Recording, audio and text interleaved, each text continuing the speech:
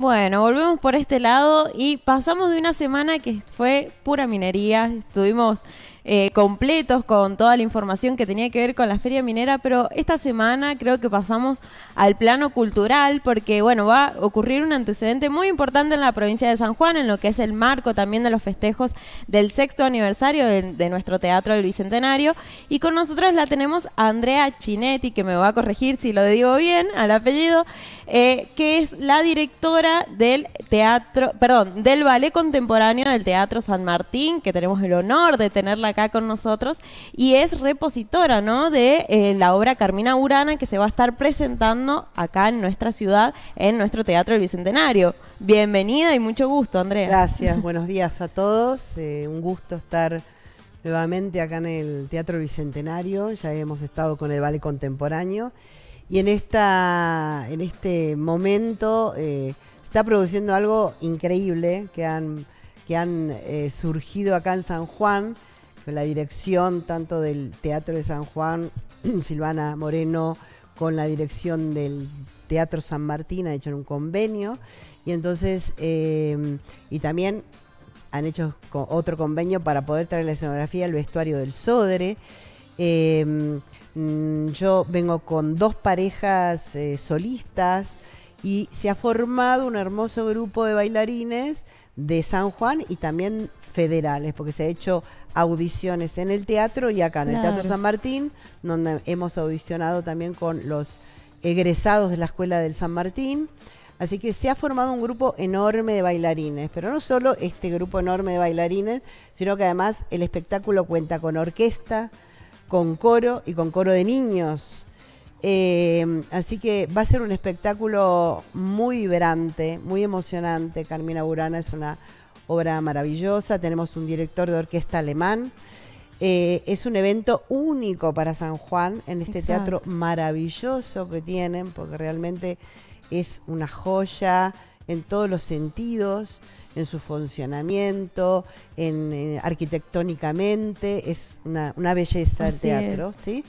Es un orgullo sanjuanino, creo.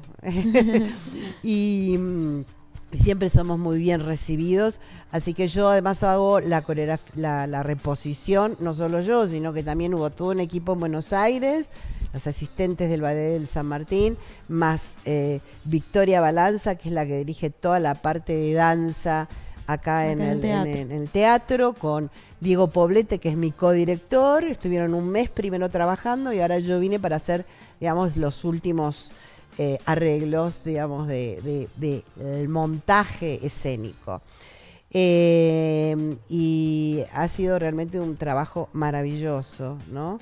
Maravilloso. Está la coreografía de Mauricio Weinroth, que lamentablemente por una dolencia no puede estar aquí, pero está presente eh, en los ensayos vía Zoom y dando sus correcciones.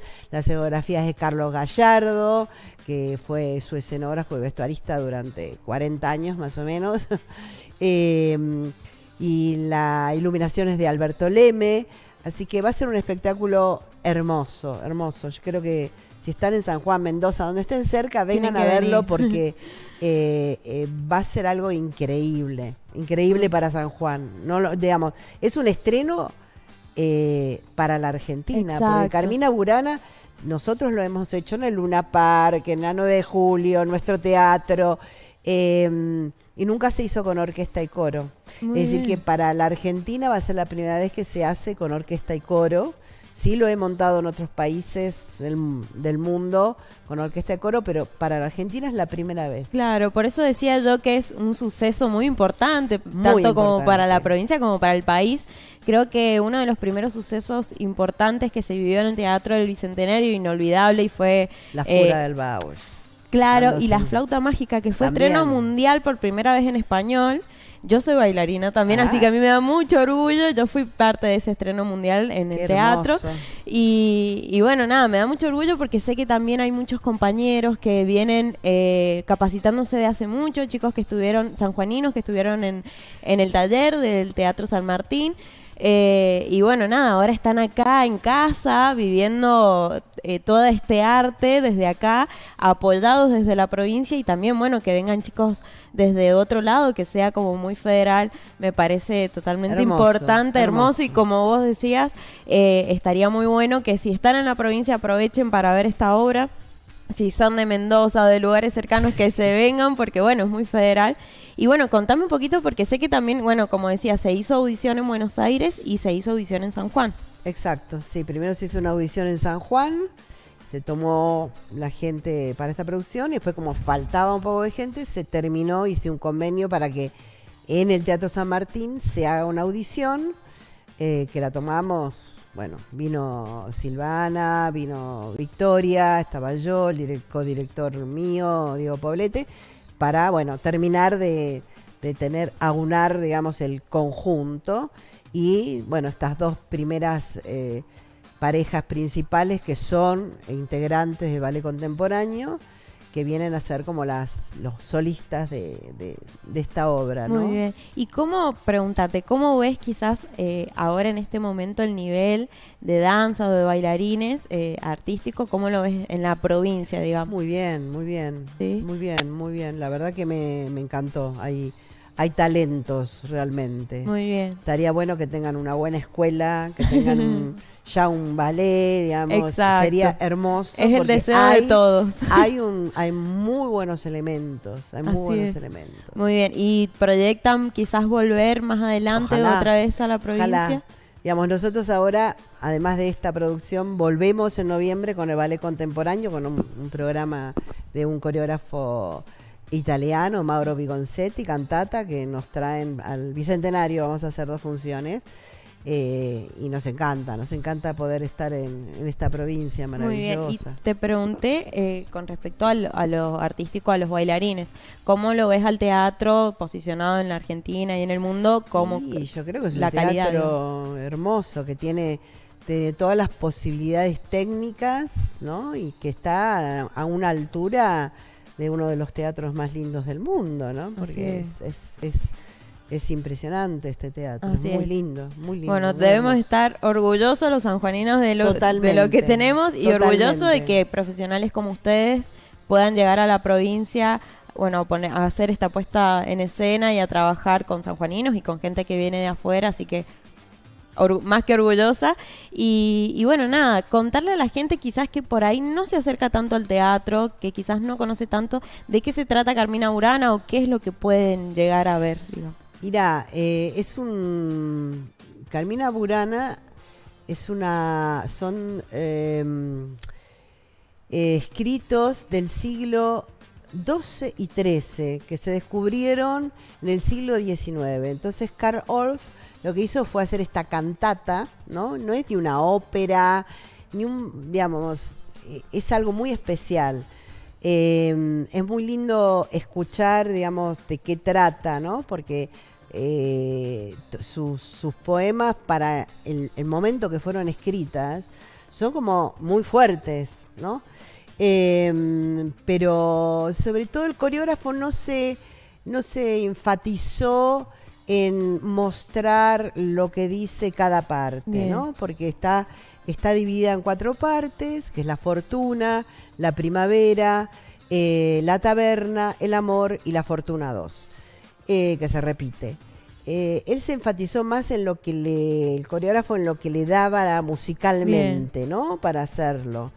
Em, pero es un espectáculo completo en el sentido que la escenografía, el vestuario, la música, los solistas de la, de la tanto el tenor, la soprano, el coro de niños, eh, hacen una gran, una gran producción Acá hay más de 200 personas trabajando en escenario.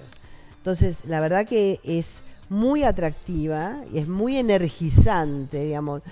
Una vez que entraste en, sentir lo que está pasando en el escenario y alrededor del escenario, porque va a ser una cosa envolvente, em, salís con otra energía de ver este espectáculo.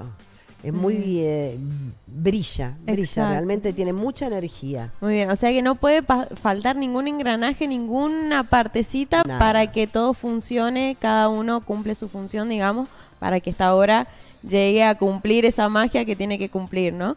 Eh, comentamos un poquito cómo vienen los ensayos. Supongo que deben ser bastante exigentes por lo que es la obra, ¿no? Eh, ¿Hace cuánto que vienen ensayando los chicos? ¿Hace cuánto que vienen Mira, los chicos están ensayando hace cinco semanas. Yo llegué la semana pasada para hacer el ensamble con los nuestros, que, con los que viajamos. Y hoy es el primer día que tenemos nuestro primer encuentro con orquesta y coro. Qué lindo. Así que de acá me voy a dar el, Sí, el ensamble Exacto. que no es fácil porque nosotros venimos trabajando, por ahí el que no conoce, venimos trabajando con una cinta y con un tempo eh, que siempre es igual.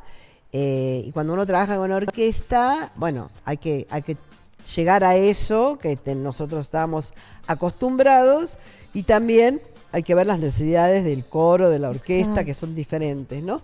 Y también la, la, la- la posibilidad que todas las funciones son diferentes. ¿no? Exacto, Porque así al ser en vivo, eh, la música, los músicos, ¿no? Puede haber un cambio y el bailarín tiene que estar muy atento a este, a est- a esta musicalidad, Exacto, a escuchar la música, al sentirla, ¿no? Muy bien. Bueno, eh, la verdad que justamente nosotros siempre damos las noticias, leemos el diario cuando empezamos, pero decidimos empezar con usted porque sabíamos que, eh, bueno, tienen una extensa actividad en el día de hoy y, y, bueno, queríamos aprovecharla para hablar un poquito de este suceso que va a acontecer, bueno, en la provincia de San Juan, en el teatro.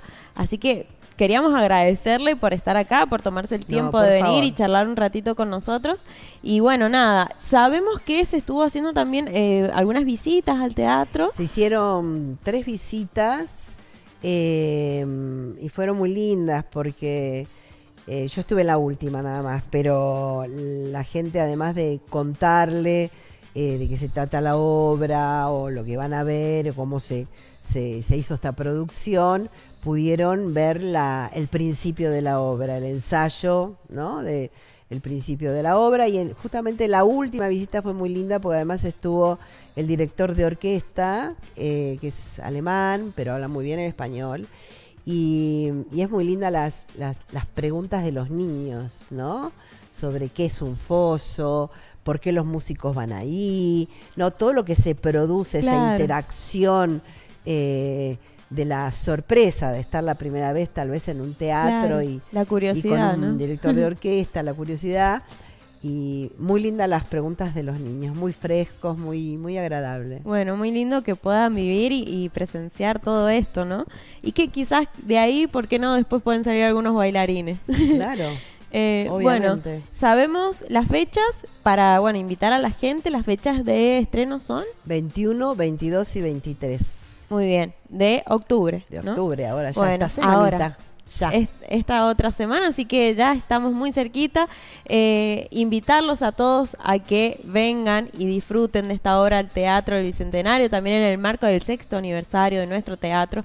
Apoyemos a nuestros artistas y la verdad presenciemos este arte que no se vive en cualquier parte y lo tenemos acá cerquita en nuestro teatro, así que aprovechemos y bueno, nada, como te decía recién, muchísimas gracias por acercarte y por estar acá con nosotros. Gracias a ustedes. Bueno, así la despedimos a Andrea eh, y nos vamos a ir con Omar, que tiene muchísima más información para brindarnos el día de hoy.